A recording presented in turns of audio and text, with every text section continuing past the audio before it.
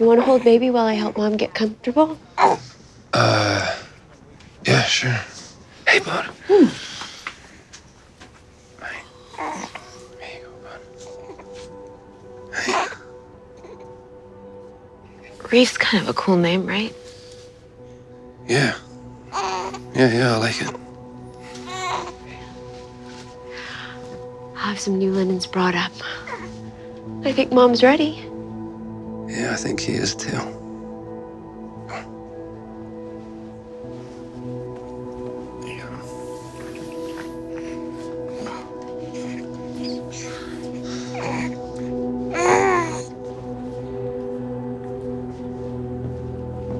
Yes. Yeah, you should go.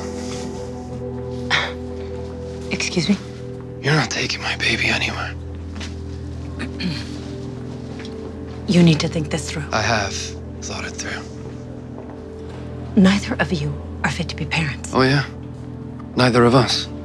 Because the first time that Renn did coke, she got it from your purse.